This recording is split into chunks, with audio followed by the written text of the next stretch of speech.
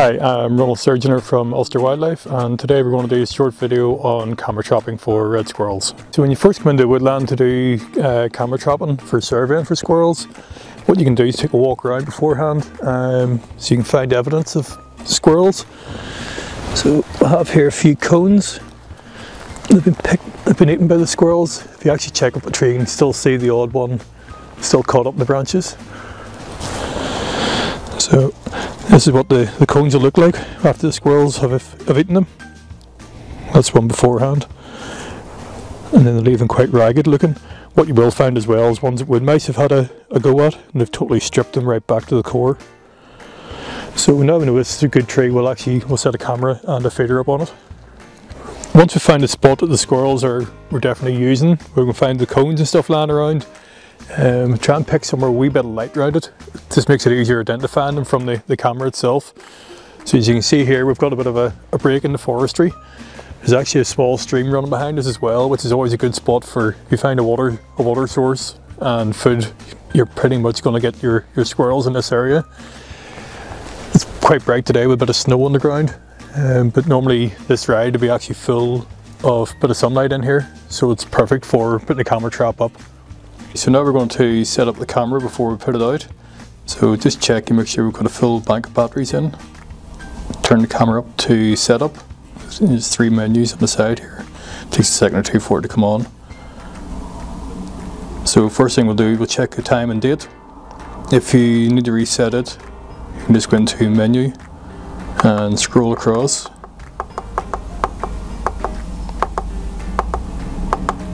Till you get the the clock set menu and then just press OK. And you can just scroll through the, time and date. So that's all okay at the minute. The other thing we'll have to do is format the memory card which we've put in. So scroll back through these go to format. So you pick execute. OK and then use the up and down arrows to pick yes. Press OK that then format to the memory card so we're certain it'll, it'll work okay in the camera. And that's it. Ready to go. Switch it off and deploy. So now we'll set the, the camera up on the tree. Um, but I find it's easier sometimes actually get the, the heavy end of the buckle get a bit more stretch on it so you can actually roll it around the back of the tree and then attach the strap up. It's quite a small tree this, so plenty of spare strap.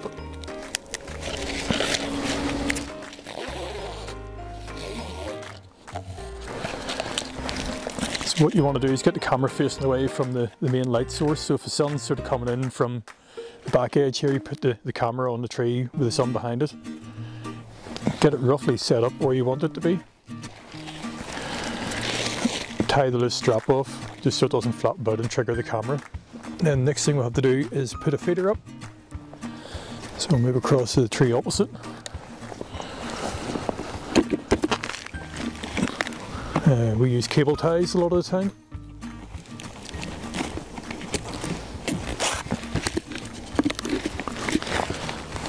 So you get it roughly the same height as the, the camera, get them lined up. So we already have some food in here. And what we will do is, normally a couple of peanuts, you can set them in below the lid. It holds the lid slightly open, lets the scent out. Um, around the place so it makes it a bit easier for the squirrels to find them. Then we go back across our checker camera. The thing to watch out for is like of low-lying branches, twigs. You can break them off so they're not going to trigger the camera moving around in front of the sensor all the time. So now we've got a feeder set up, we can check it with our with a phone. Um, if you actually turn the, the camera on, hold the phone in front of the, the camera on selfie mode, you can actually look across and see it's facing the right direction for the, the feeder and everything looks okay there. What you can do if you need to is you can actually um, put cones, a bit of branch, twig or something just to angle the camera whether it's top or the bottom and it'll get it in the right direction for you. So just double check everything's off here. And now the camera is good to, to switch on. So we'll just put it up to the on position, close it over. You should still see a red light flashing on the, the infrared lamp area, so that tells you that the camera's working and it's ready to ready to go. So we'll, that's it locked up. Quick check around, make sure everything's all clear around it. And that's it, ready to leave then for a week. Um, come back after a week and we'll be able to review the footage to see whether we'll have red or grey squirrels. Okay, so we're back to remove the camera and feeder after the, the survey survey period of a week. So first thing to do is turn the camera to the off position, just so we don't trigger it all the time.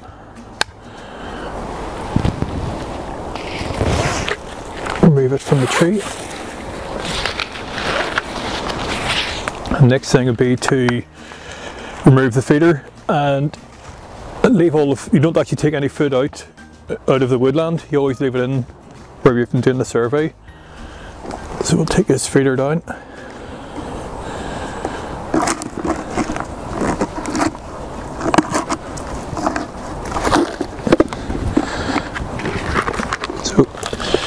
Basically empty out the empty out the food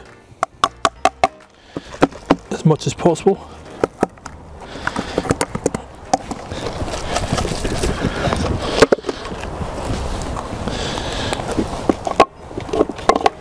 And then we use disinfectant, it's a Virkon S uh, mixture. So we disinfect just down around the, the area.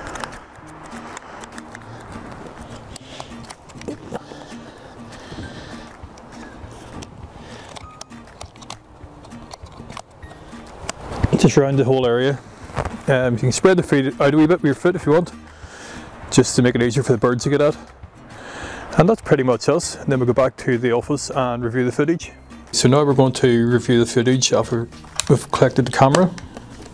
So camera open, so get the memory card out, you just lightly press it in and it'll pop back out itself.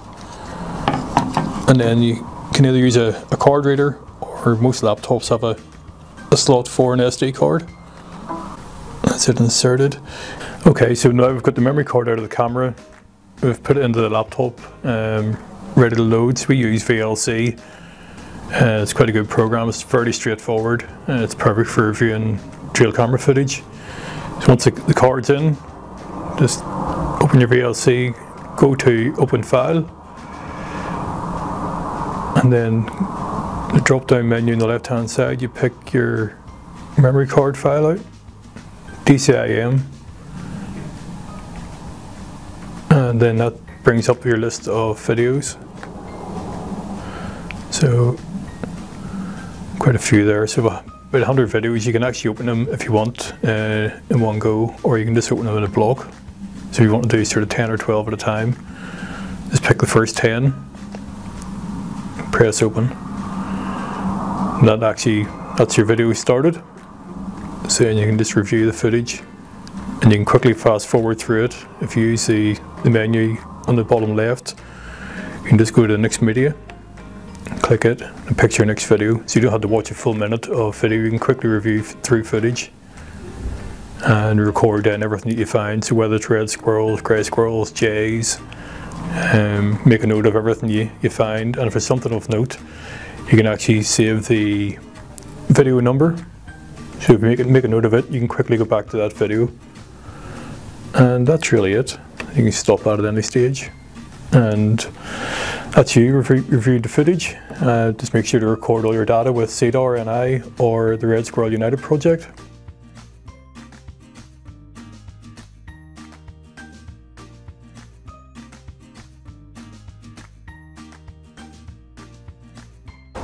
Another thing you can do when you come into a woodland look for squirrels, actually look for squirrel drays.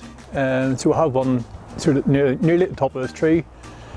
They're normally placed in the fork of a, the branches, just slightly bigger than a football, and they're made up of twigs, uh, leaves and stuff like that. So it's always a good spot to put a camera up just to have a look and see what it is, whether it's a red or a grey. So now we're into a, a hazelwood uh, mixed with oak and things you got, looking for squirrels. Some of the stuff you can look for is hazelnuts that have been eaten by the squirrels.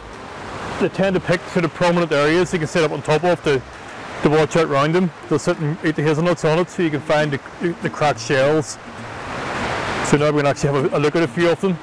Now we'll have a look at the, the nuts that are left on top of the, the log or rocks or anywhere sort of prominent areas. As you can see here the squirrels have bit the, the hazelnuts.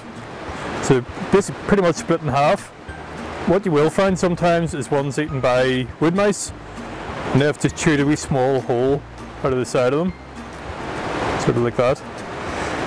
Rather than the squirrel just biting them, splitting the nut clean in two.